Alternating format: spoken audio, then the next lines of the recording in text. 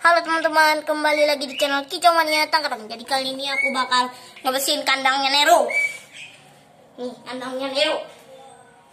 Bukan kandangnya maksudnya uh, karpetnya ya, kusetnya. Nah, gini aja. Sudah ada nih. Udah kotor banget teman-teman. Ya, ini lepas ya. Memang kadang sering gitu teman-teman, airnya lepas. Tiba-tiba maksudnya selangnya yang lepas. Oh, akhirnya mah mana ada lepas. Ini kita tinggal pakai gini nih. Buat gini nih bikin ee nya yang nempel. Ya.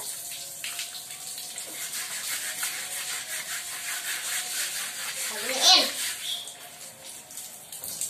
Semprot-semprot dulu.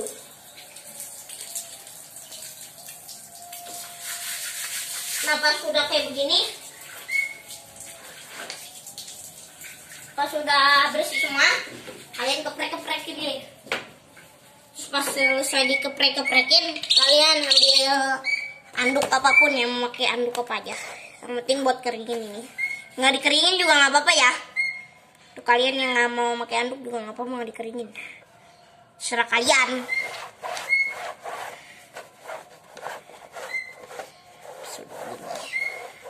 Sudah begini langsung aja kita taruh ke si neronya Nero ya?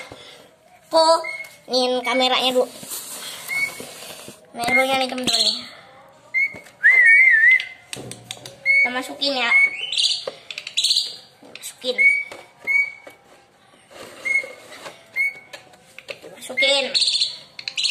Seru ya teman-teman ya kalau setahu aku. Ngebersihin kandangnya Nero atau si jancok nih Nero tapi ini jangan lupa tempat minumnya ini dibersihin juga. Ya karena ada tuh sobat kicau mania. Kicau mania nggak dibersihin teman-teman dia. Yang nggak dibersihin ya kesian banget sampai ininya udah bau udah busuk.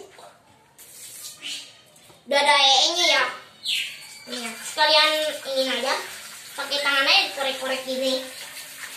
Biar kayak kerak yang ada ya. Biasanya kayak ada itu ya ada lumutnya. Nah udah kayak gini. Langsung aja kalian kasih ke sineru kasih ke burung kalian maksudnya. Kasih lihat uh, dianya loh dia lagi nunggu.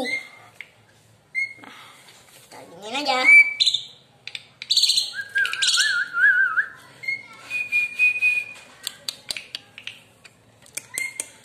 Nero suka gitu teman-teman ya kita tinggal bersihin bawahnya.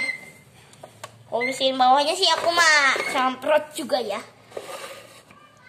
Sama ini ada e nya juga nih kadang. Kadang pas atasnya diambil terus dia e di bawah teman-teman gitu.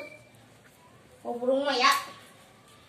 Karena biar nggak kropos tapi aku mah ini mah aku langsung niin oh ini aku langsung lap. Pakai apa pun lapnya. Biar nggak kropos biar nggak keropos ya